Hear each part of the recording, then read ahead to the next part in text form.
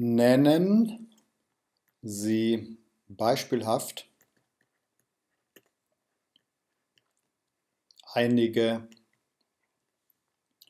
Produktionsstammdaten. Also Beispiele für Produktionsstammdaten.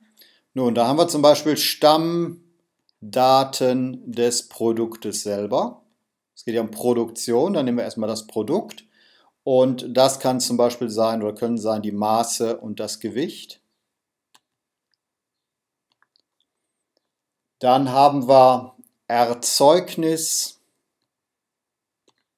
Strukturdaten. Da geht es um die Zusammensetzung. Wie setzen sich die Module zu Baukästen zusammen zum Beispiel? Dann haben wir Arbeitsplandaten. Und wir haben Arbeitsplatz und Maschinen, also Betriebsmitteldaten. Ja, Arbeitsplatz- und Maschinendaten kann man hier an dieser Stelle auch sagen. Das sind Beispiele für Produktionsstammdaten. Wollen Sie lernen, ohne zu leiden? Dann klicken Sie auf den Link unter diesem Video. Dieser Link führt Sie direkt zu meinem Schnelllernsystem.